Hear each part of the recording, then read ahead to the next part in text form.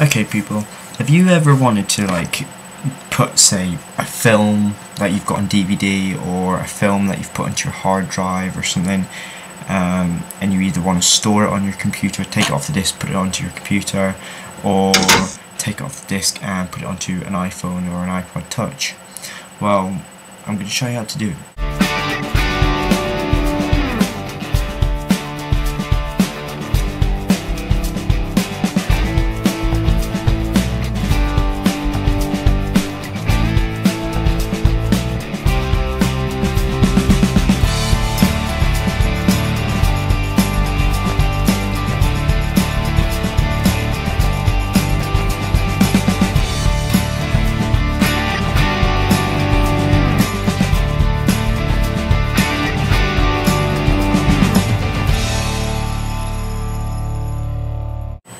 Right, okay, so yeah, you want to get a film from this to this. Right, the first bit of software that you'll need is called Mac the Ripper. Now I will have all the links of where you can get these, they are free applications, um, but Mac the Ripper, it basically takes the information off the disk and puts it on the computer for you. Now it can sometimes take a bit of time, sometimes ranges from 15 to 20 minutes to an hour sometimes. So you do, you can see that you get this nice little icon on the desktop here.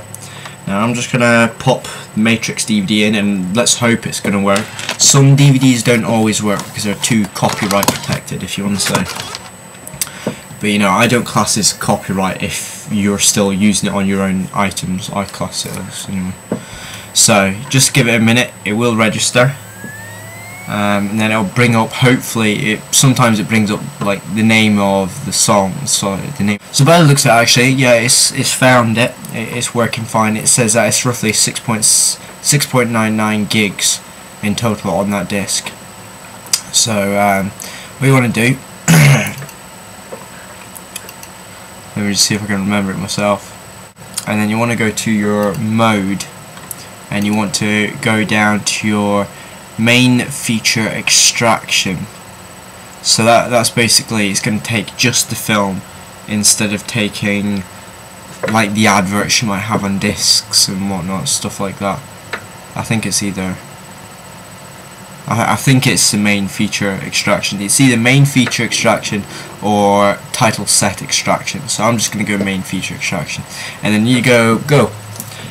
Just hit the go button and it says right where do you want to save it to? I'm just going to put it onto my desktop. So as you can see a nice little folder has been made there now that's where the film will get stored into. And you've just got to give it a bit of patience. So yeah I'm going to leave the video for now. I'll come back when it's done and then I'll show you the next steps from there. Right so we're back again and now we're actually done so as you can see here, I've got a picture of Bomberman. It says, Bomberman says, don't copy DVDs that you do not own it. This is a crime. Okay, so let that be a warning to us. Bomberman. Bomber. anyway, yeah, that took roughly, for me to complete that, it was roughly 16 minutes and 14 seconds, it's saying. So once that's done, just hit close, and simple enough, you can eject your CD. So let me take that out. That's that out. Now, you can actually fully close that, and you do have, as we said, there's a folder just there. So if we go into that, we've got another little thing says video TS. Go into that, there'll be loads of bits and bobs, but you can't read them. So this is where you need a second application. Now this is it just here. It's called Handbrake. It's a little cocktail glass and a pumpkin sit next to each other. So just open that up. Okay, I didn't want that. I want that. There. Right, so you'll get this little screen here. Again, this application is free. All you do is click on sources and as you can see we're on desktop and then we want to click the matrix film and then just go open. So it's just going to pull up that information. Now this is a stage where it can take a hell of a long time. Uh, so all you do is just go up the top there and press start and just leave it as that. That's where it'll take a while okay? So just leave it as that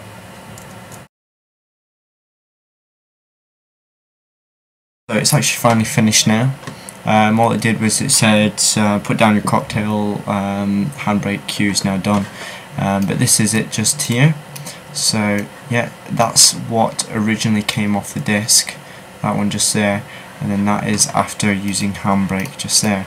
So if I zoom out and I click space, you'll actually notice that it's pretty fine quality. Here it is. Because nothing I can say that will explain it for you. So yeah, that's it now actually on your computer so you can put that onto a hard drive if you wanted to. I think I probably will. Um, but after that, if you want to actually get it down to the size to fit onto your iPod, because that, simple enough, that is too large to put onto your iPod itself. So you need another application to do it. Now again, this one's free. It's called FFmpegX. Okay, so I'm going to open that up. So this is the application. Now you can install these other bits and bobs if you ever wanted to. It's just like a few extra encoders, but uh, I don't bother. Um, now this is the main bit that you want to get to. So it says open the file that you want to encode.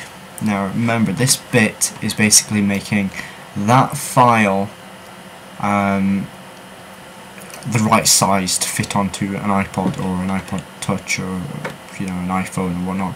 So basically we want to go desktop and then we want to find the film which is that one there. So it's 1.4 gigs, I don't know if you can see that, 1.4 gigs at the moment. So if we go choose and it basically puts it in there and then what we want to do is it says source format so that's all the information just there what it is at the moment but we want to change it to so say if you've got like any of the iPods put it on there the iPhone PSP um, basically anything you want. In fact it's all on there DivX but I'm going to go iPhone. So then it puts it to all the automatic sizes there of the screen or the hertz and whatnot and then just simply go encode now again something like this can take quite a while. So if you if you add up all the time limits for doing things like copying, um, handbrake and FFmpeg, uh, it will probably take a good hour to maybe sometime two hours. So you know it, ha it hasn't even started to go to one percent yet. So I'm thinking that it might be maybe an hour's job for doing something like that. Um, but then yeah, I'll bring it back up when it's at the end, and I'll basically be showing you just basically putting it straight into the iTunes and then onto my iPhone. Um, it's actually finally done now. It took roughly an hour and a half to finish. So as it says, encoded the matrix feature M4V to iPhone and it's finished. So now we can actually cancel it. Well, close it should I say. Get rid of that. Um, but now we have another box just here. So that's your original. And this is the iPhone version. So as you can see, totally different size and screen. But yeah, now simply if you want to stick that onto your iPhone or iPod Touch, just simply open iTunes, click on movies, once it's loaded up that is. Now as you can see I've already got two films already in there, but what you do is just grab it, drag and drop, and then it just says that it's copying into the library. So in a minute it'll take go straight into there. Now I can't actually fit it onto my iPod, I don't have enough memory. It's roughly, um, think it's roughly 400 and it's 547 megs in total for the film. So I don't have enough.